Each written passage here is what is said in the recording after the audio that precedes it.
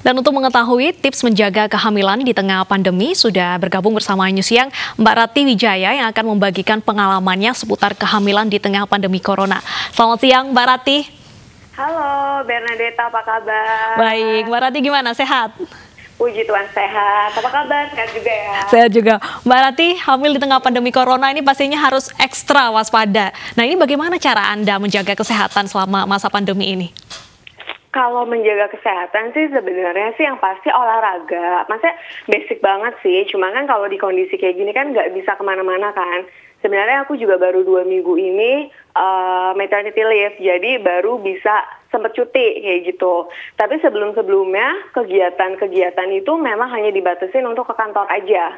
Sel selanjutnya ke kantor itu juga dianterin suami berangkat pulang juga dijemput kayak gitu dan pas banget suami itu dapat work from home. Kalau di kantorku karena aku kerjanya itu juga di uh, klinik bayi tabung dan itu juga harus terus beroperasi jadinya nggak bisa full WFH jadi ya mau nggak mau kegiatan keluar rumah itu benar-benar hanya untuk ke kantor. Dan di kantor itu tuh juga benar-benar harus ekstra hati-hati banget ya karena kan lagi hamil nih jadi benar-benar pakai masker apa-apa. Kalau misalkan lagi nggak mau makan terus suami bawain atau nggak uh, gojekin gitu pakai pakai uh, online harus disemprot-semprot dulu, meja, kursi, laptop semuanya aku semprot-semprotin dulu, mau apa-apa tuh jadi lebih sering cuci tangan. Hmm. Dan selain itu juga kalau misalkan udah balik ke unit, itu karena aku tinggal di apartemen kan sama suami, jadi kalau udah balik ke unit itu kegiatan olahraga aku itu biasanya sebelum hamil itu aku biasa lari, nge-gym atau enggak pilates. Hmm.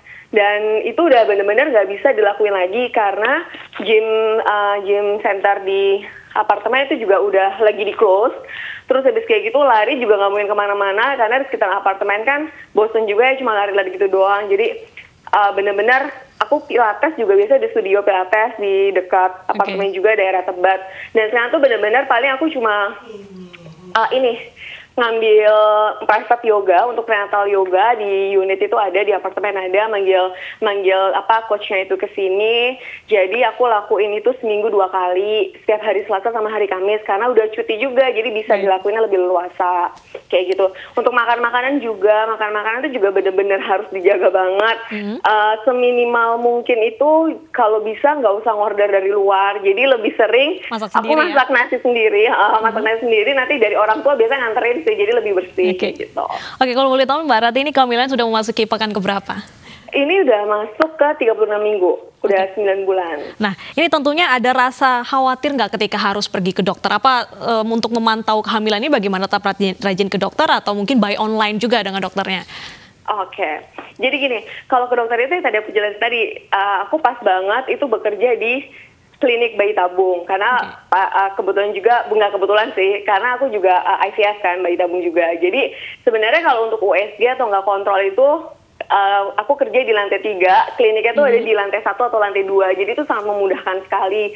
Dan aku juga tahu gimana kebersihannya seperti apa, setiap hari juga disinfektan dan lain-lainnya, jadi lebih aman. Cuman kalau udah lagi maternity leave gini sangat aku minimalkan banget. Dan juga yang biasanya itu kalau nggak urgent banget maksudnya kalau nggak waktunya USG aku paling cuma uh, nggak online juga sih. Karena dokternya sangat standby sekali. Maksudnya mm -hmm. kalau di WhatsAppin dia juga ngebalesin. Kalau misalkan uh, anytime uh, kan kita juga sering adain kayak webinar gitu kan. Jadi paling dapetin kayak info-info terupdate untuk masa-masa kehamilan di masa pandemi ini aku bisa dari situ sih jadi okay. hampir nggak pernah keluar rumah untuk kontrol kalau nggak waktunya USG gitu.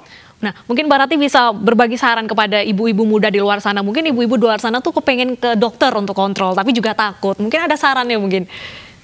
Sebenarnya kalau saran sih gini ya, yang pasti adalah kita jangan parno dulu. Mm -hmm. Ka, uh, apa ya?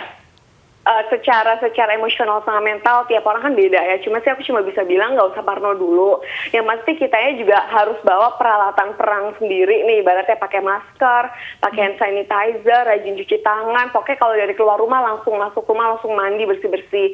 Sedangkan kalau untuk ke rumah sakit sebenarnya kalau setahu aku ya, semua rumah sakit itu sudah sangat uh, mencanangkan kebersihan di masa pandemi COVID-19 ini. Jadi benar-benar dijaga banget kan, karena mereka juga nggak mungkin dong akan menularkan. Walaupun sebenarnya, uh, walaupun sebenarnya tuh apa ya uh, lebih lebih lebih banyak peluang mungkin untuk virus atau bakteri ada gitu tapi sebenarnya kalau misalkan mau mau benar-benar ke rumah sakit benar-benar pas waktunya kontrol aja atau benar-benar urgent banget kalau untuk ibu hamil seumpama tiba-tiba ada flek yang berlebihan atau mungkin uh, rembesan ketuban dan lainnya udah waktunya melahirkan dan lain-lain itu itu baru benar-benar harus ke sana tapi kalau misalkan masih cuma sekedar ini apa itu bisa mungkin bisa whatsappan sama dokternya atau Baik. mungkin kan ada grup ibu-ibu hamil tuh biasanya tuh bisa saling okay. tanya di situ. Jadi gabung grup ya, lebih biar iya, bisa bener. sharing. Oke, terima kasih Mbak Rati atas informasinya. Sama-sama. Tetap jaga kesehatan dan semoga hamilannya tetap lancar nanti. Terima kasih Mbak Rati.